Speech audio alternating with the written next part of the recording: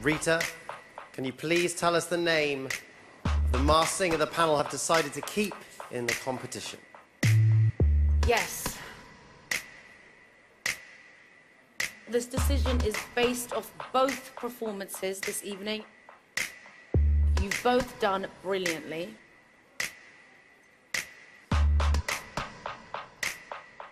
The masked singer we're keeping in the competition is.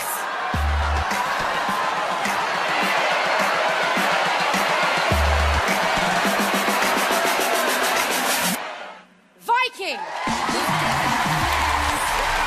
Viking, congratulations. We'll see you again next time. And ladies and gentlemen, give it up for Viking, everybody! Bye, Viking!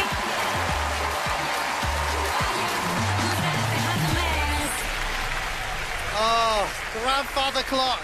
I'm so sorry. Oh, I'm sorry. For your time on The Masked Singer has come to an end, and very shortly you will be removing your mask. But first, panel, of course, who do you think is behind the mask?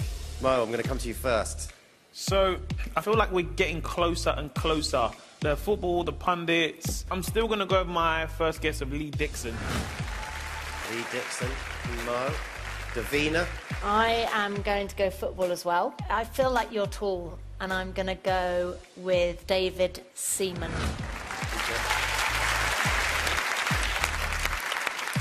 all the love for that in the studio. Uh, Rita, who are you going to go with? I'm gonna go with my initial guess, Ian Wright.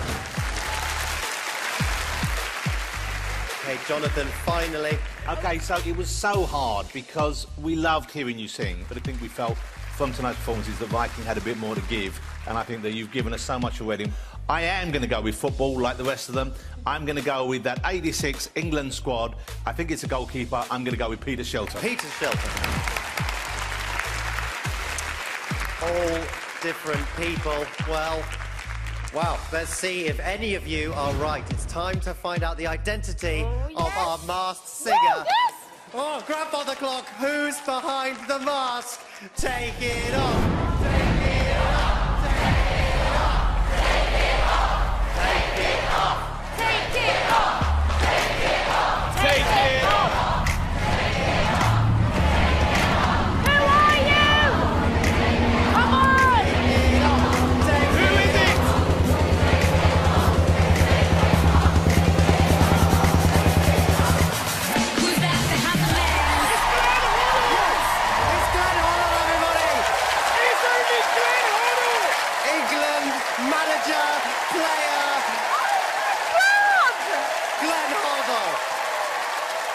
I was so close.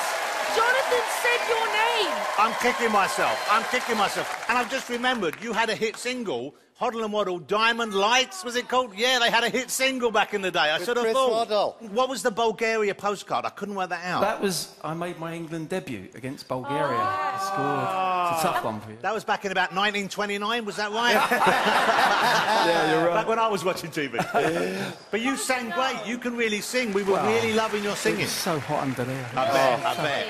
What did you think of our panel's guesses? Well, they were so close. I thought any any time now you're just No, gonna, we- you're going to nail it, but you know you didn't clock me. Ah.